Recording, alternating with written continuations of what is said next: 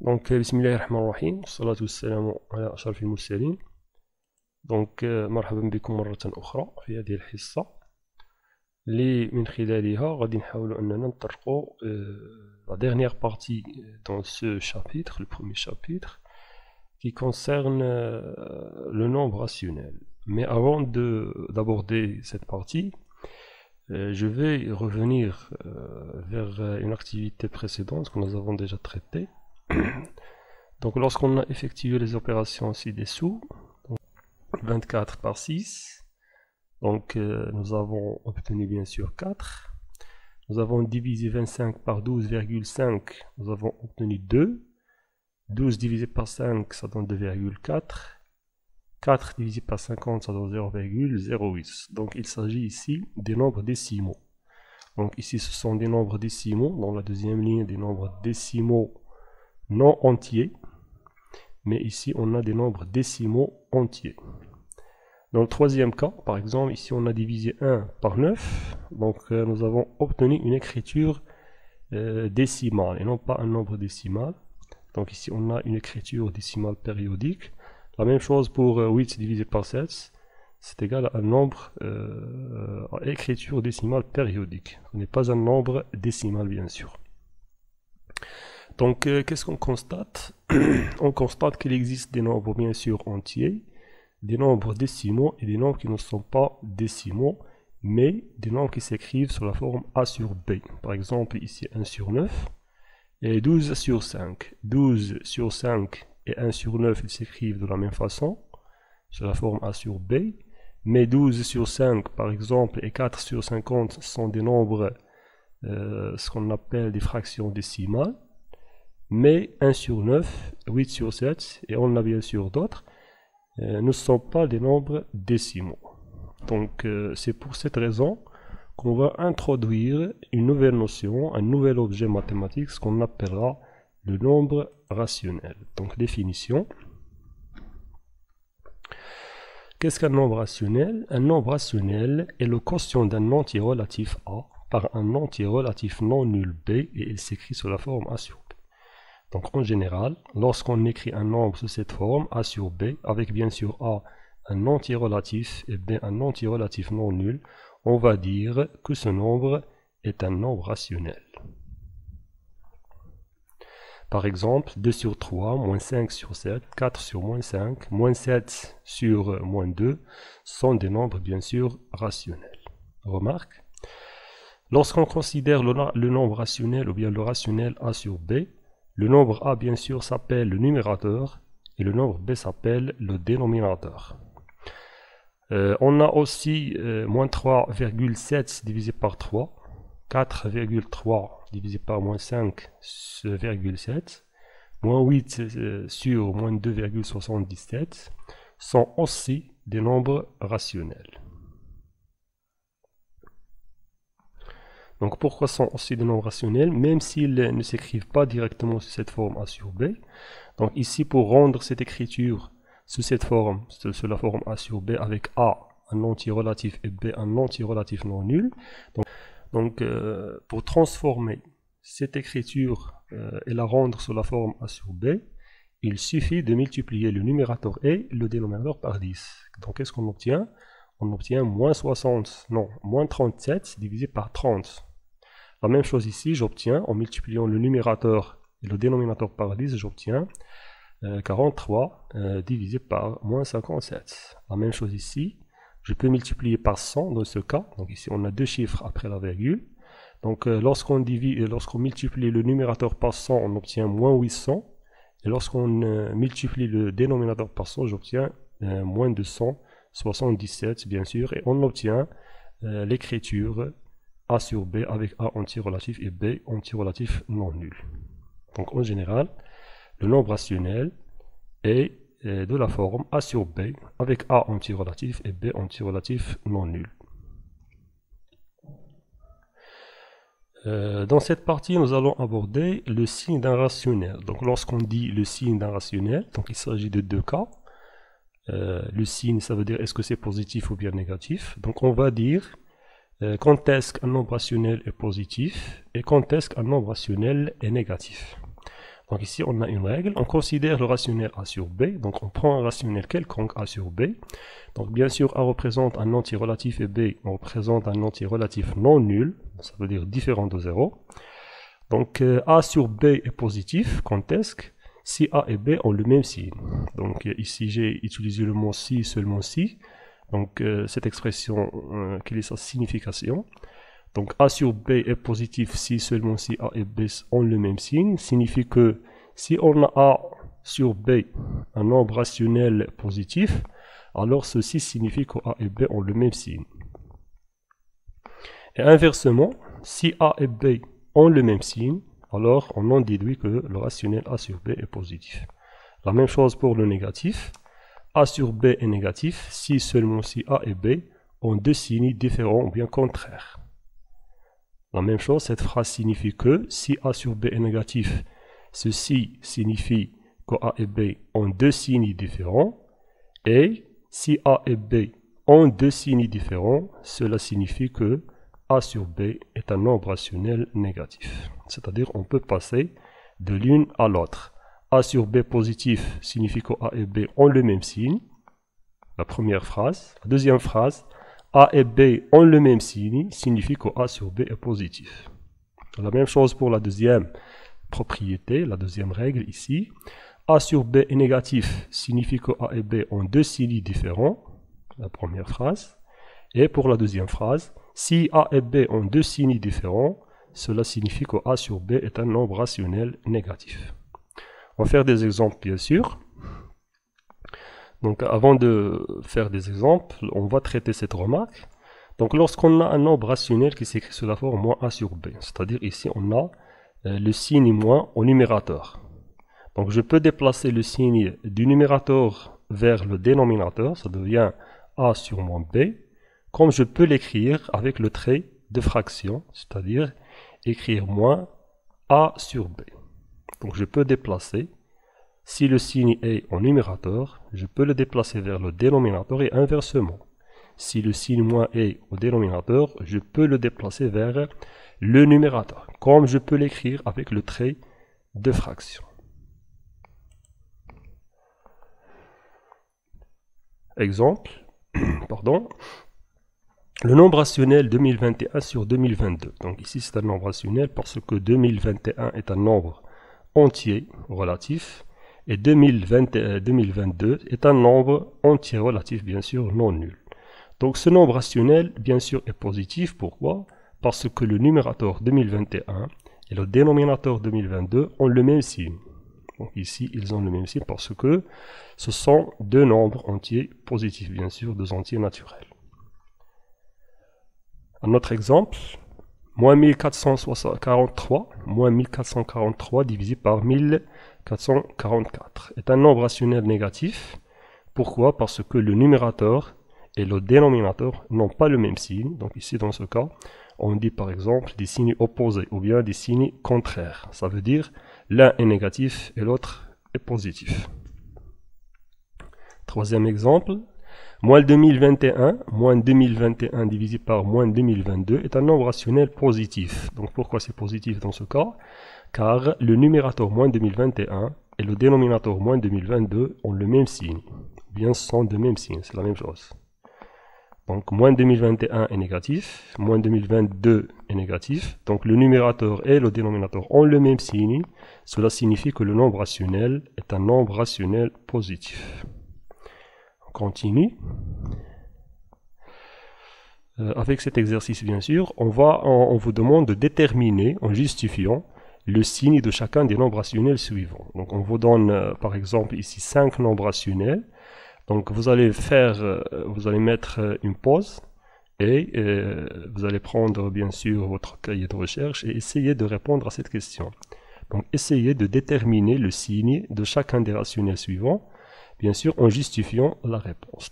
Le nombre rationnel 3 sur 12, est-ce qu'il s'agit d'un nombre rationnel positif ou bien négatif? Moins 2 sur moins 7, c'est la même chose. Est-ce que c'est positif ou bien négatif? Euh, Bien sûr, en justifiant, on, euh, va, dire pourquoi.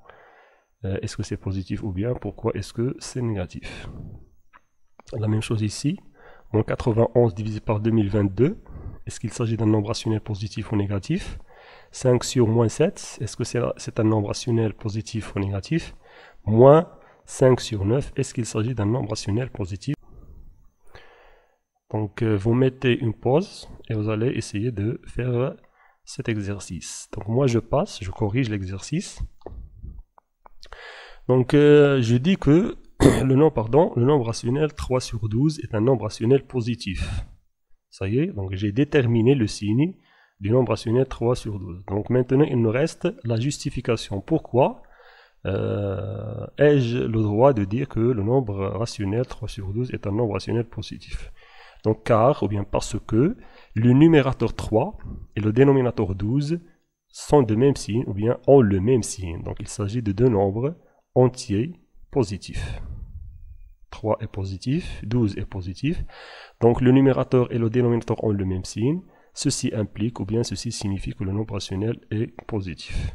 Pour le deuxième rationnel, moins 2 sur moins 7 est un nombre rationnel aussi positif. Donc pourquoi c'est positif? Je vais justifier. Donc car le numérateur moins 2 et le dénominateur moins 7 ont le même signe. Donc il s'agit ici de deux nombres, deux entiers relatifs négatifs. Moins 2 est négatif, moins 7 est aussi négatif.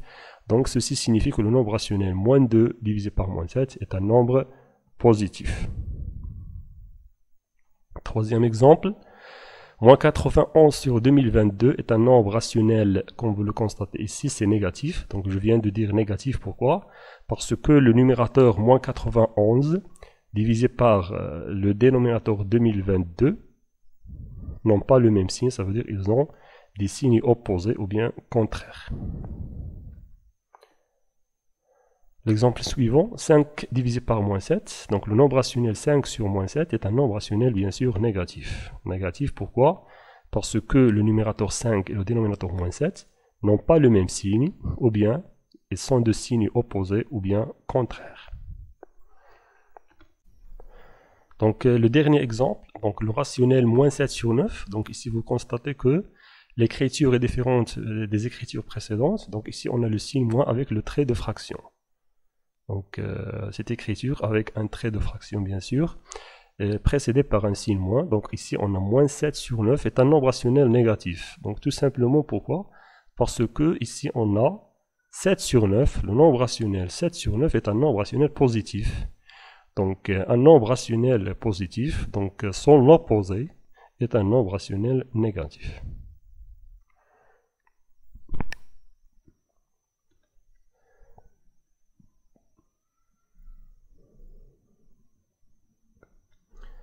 Dans cette partie, on va aborder l'égalité de deux nombres rationnels. Donc on va dire quand est-ce que deux nombres rationnels sont égaux ou bien quand est-ce que deux nombres rationnels ne sont pas égaux. Donc on va prendre dans cette propriété de nombres rationnels A sur B et C sur D. On va dire que A sur B, le nombre rationnel A sur B, est égal au nombre rationnel C sur D si seulement si A fois D égale à B fois C. C'est-à-dire, pour dire que le nombre rationnel A sur B égale euh, au nombre rationnel C sur D, il suffit de calculer A fois D et B fois C. Si j'obtiens l'égalité, si A fois D égale à B fois C, c'est ce qu'on appelle le produit en croix, je multiplie A fois D, je multiplie B fois C et je compare les deux produits. Est-ce qu'il s'agit euh, d'une égalité ou bien euh, d'une différence entre les deux produits bien sûr? Donc si euh, je calcule A fois D, j'obtiens la même chose euh, lorsqu'on calcule B fois C, alors on va dire que le nombre rationnel A sur B est égal au nombre rationnel C sur D. Sinon, c'est-à-dire si je calcule A fois D et je n'obtiens pas le même résultat lorsqu'on calcule B fois C, alors on dira que le rationnel A sur B et le rationnel C sur D ne sont pas égaux. On va prendre, ou bien on va faire euh, une conséquence, la forme, ce qu'on appelle la forme irréductible d'un rationnel. Donc euh, la forme irréductible d'un rationnel est très importante. Donc euh, souvent elle est posée dans les exercices. Euh, lorsqu'on a un rationnel, on cherche toujours à l'écrire sous la forme irréductible, c'est-à-dire une forme simplifiée. Donc soit AB, A sur B un nombre rationnel et K un entier non nul. Donc on a cette propriété. Si on a A fois K divisé par B fois K, alors en simplifiant par K, donc AK doit être un entier non nul, alors on obtient A sur B. C'est-à-dire ici on a deux écritures différentes. Donc A fois K A fois K divisé par B fois K, deux écritures différentes mais qui sont égales. A fois K divisé par B fois K égale A sur B. C'est-à-dire ici on dit que on simplifie par le nombre entier K. Donc euh, cette propriété, on peut la démontrer grâce à cette propriété euh, précédente, à la propriété précédente. Je peux démontrer cette conséquence grâce à cette propriété. Donc on va dire pourquoi a fois k divisé par b fois k égale à a fois b. Donc ici, il suffit de calculer a fois k fois b, a fois k fois b. Est-ce que j'obtiens le même résultat si je multiplie b fois k fois a? Donc si on obtient le même résultat, alors on a l'égalité, sinon euh, l'égalité est fausse. Donc bien sûr, ici on a a fois k fois b. Grâce à l'associativité et la commutativité, je peux l'écrire b fois k fois, fois a bien sûr. On va faire cet exercice. Donc vous allez montrer que moins 7 sur 3, le nombre rationnel moins 7 sur 3, égale le nombre rationnel 56 sur moins 24. Pour la deuxième question, vous allez montrer que 5 divisé par moins 7 est différent du nombre rationnel moins 9 sur 13.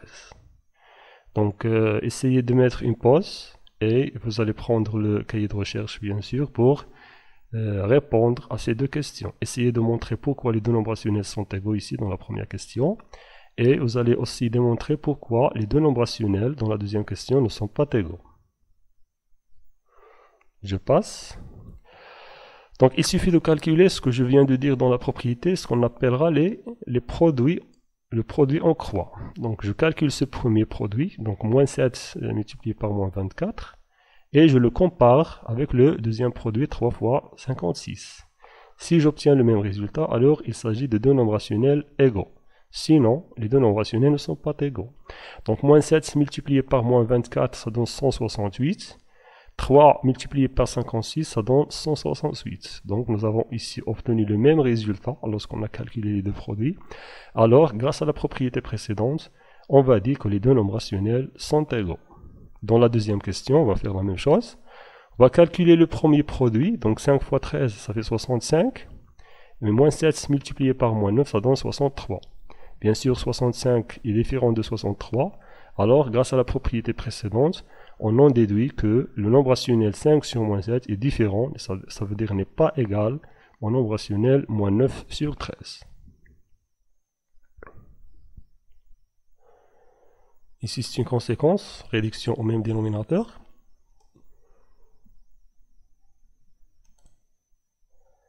Cette conséquence, on va l'utiliser dans les chapitres euh, qui suivent. Donc nous verrons au chapitre suivant que certains calculs sont plus faciles à faire euh, sur des rationnels qui ont le même dénominateur. D'où l'intérêt de la propriété précédente. Donc la propriété précédente, c'est-à-dire euh, l'égalité. Donc la propriété évoquée, c'est celle-ci. Donc pour passer d'un nombre rationnel un nombre rationnel qui lui est égal. Donc on peut passer d'un nombre rationnel A sur B à un nombre, c'est-à-dire on peut passer ou bien on peut remplacer un nombre rationnel A sur B par un nombre rationnel qui lui est égal, bien sûr.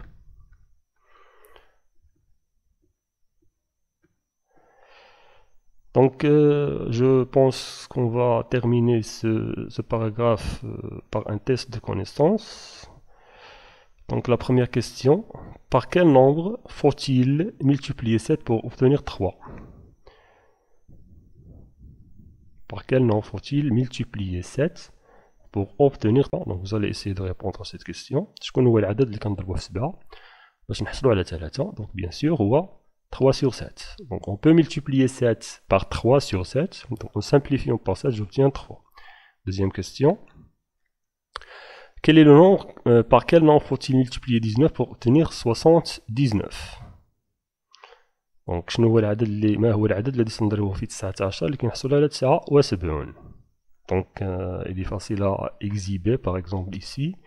Le nombre rationnel, pardon, euh, qu'on va multiplier par 19 pour obtenir 60, c'est 19, et 79 divisé par 19. 79, c'est 79 sommes à 19. Donc, parce que si on multiplie 79 divisé par 19 euh, fois 19, en simplifiant par 19, j'obtiens 79.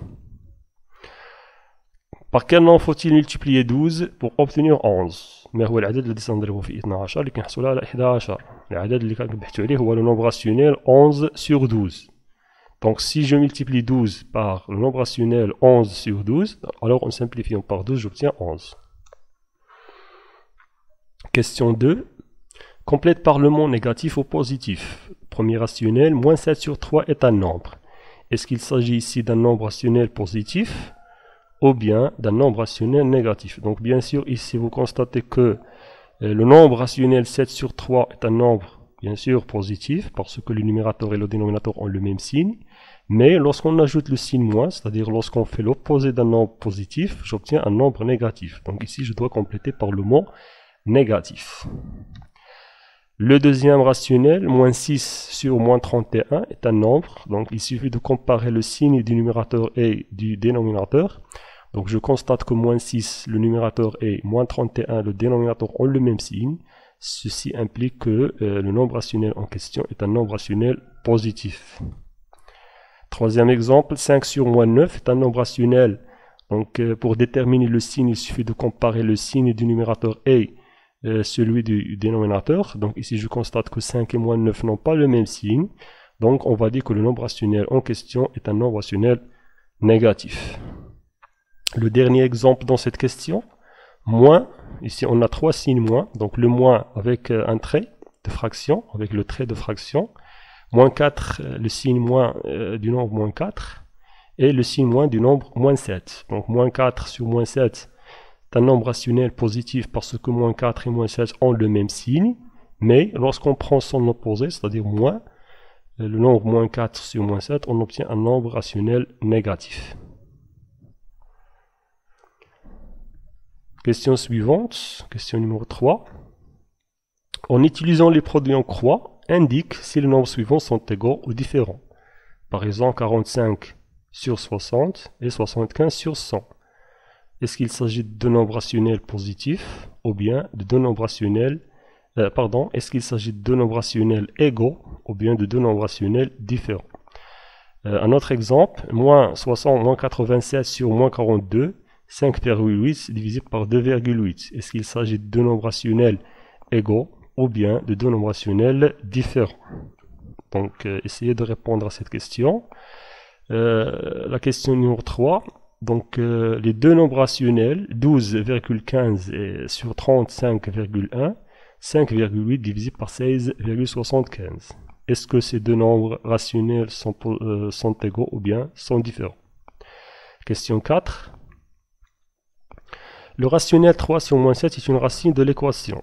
Est-ce que le nombre rationnel 3 sur moins 7 est une racine de l'équation moins 5x égale 3 Ou bien est une racine de l'équation moins 7x égale moins 3 Ou bien est une racine de l'équation 7x égale à moins 3 Donc racine ça veut dire solution. On dit racine ou bien on dit solution.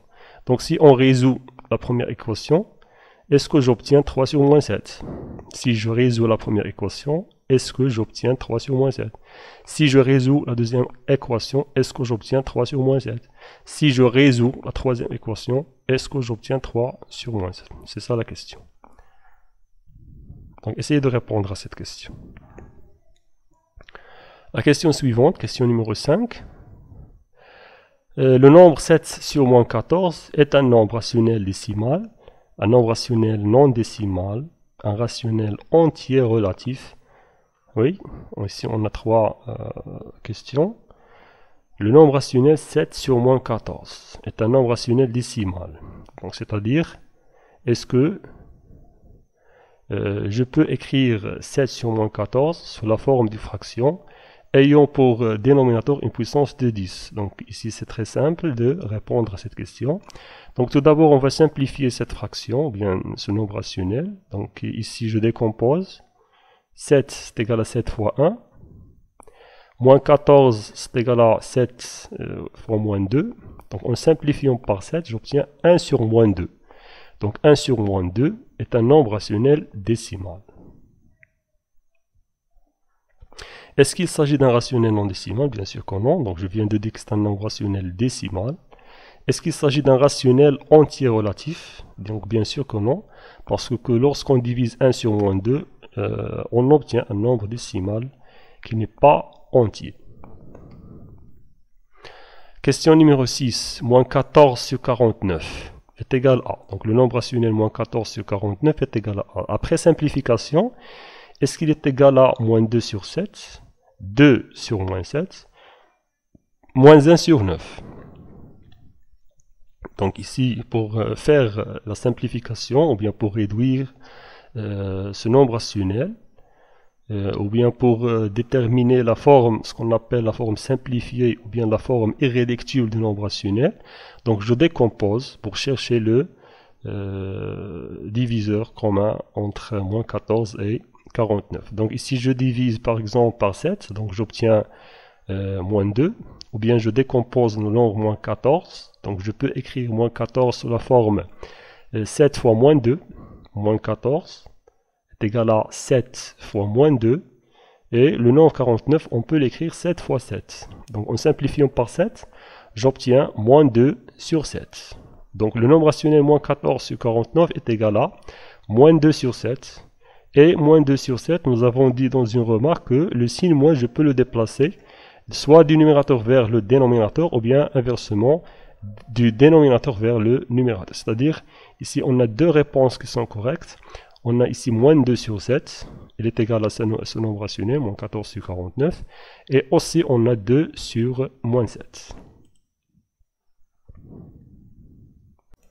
Euh, donc, euh, en ce qui concerne les exercices, donc je vous propose des exercices à faire. Donc ici, j'ai une série euh, d'exercices, une série dans laquelle on a plusieurs exercices. Donc par exemple ici euh, l'exercice 13. Donc euh, c'est un exercice corrigé. Donc c'est un exercice ici j'ai posé les questions ici j'ai euh, donné une correction. J'ai proposé une correction. Donc quel est le nombre qui multiplié par 3 donne 36 Donc ici on a la réponse de cette question. Quel est le nombre qui multiplié par 7 donne 9 Ici on a aussi la correction de cette question. Euh, deuxième exercice, l'exercice 14. Par quel nombre faut-il multiplier 5 pour obtenir 3 Donc ici, c'est un exercice euh, que j'ai évoqué dans le cours, bien sûr. Par quel nombre euh, faut-il multiplier 19 pour obtenir 60 19. Par quel nombre faut-il multiplier 12 pour obtenir 11 La deuxième question, vous allez compléter par le nombre convenable. 68 multiplié par, si on a des pointillés, c'est-à-dire le numérateur, on va le compléter euh, sur 68 est égal à 52. La même chose ici, 74 multiplié par un nombre rationnel à trou. Donc ici, on a un 3 complété. Donc euh, c'est un nombre qui manque ici. Donc vous allez le faire. Euh, vous allez compléter ces, ces, écritures, bien sûr. Donc l'exercice 15, donc complété par le mot négatif ou positif. Donc ici, nous avons déjà résolu cet exercice, bien sûr, euh, il est évoqué dans le cours. Réécrit chaque nombre avec un dénominateur positif et le minimum, euh, le minimum de signes moins. C'est-à-dire je dois euh, éliminer les signes moins dès que possible. Réécrit chaque nombre avec un dénominateur positif. Le dénominateur, il s'agit ici, par exemple, moins 4, c'est un dénominateur négatif. Alors je dois réécrire ce nombre rationnel, bien sûr, pour que son dénominateur soit positif. Donc comment on va faire pour transformer ce nombre rationnel en un nombre rationnel dont le dénominateur est positif. La même chose pour 5 sur moins 9, etc. Donc ici on a l'égalité, écriture fractionnaire égale.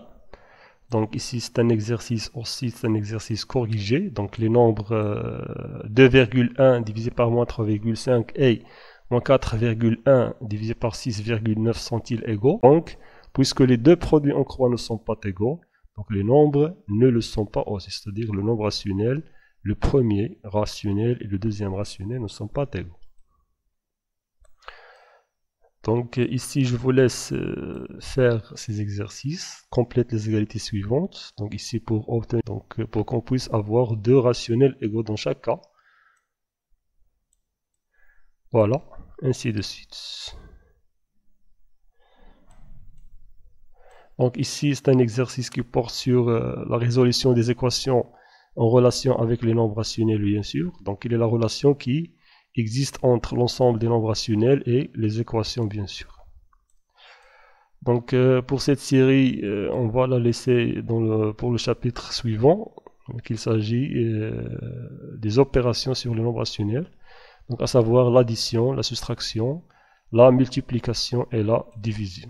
Donc ici on a deux propriétés pour calculer la somme de deux nombres rationnels lorsqu'on a ici le même dénominateur, donc pour calculer la somme et la différence bien sûr. une deuxième propriété, deux propriétés pour calculer la somme euh, lorsqu'on a deux nombres rationnels qui n'ont pas le même dénominateur. Ici, on a b par exemple, ici d, et ainsi de suite. Donc, euh, merci pour votre attention et à la prochaine, Inch'Allah.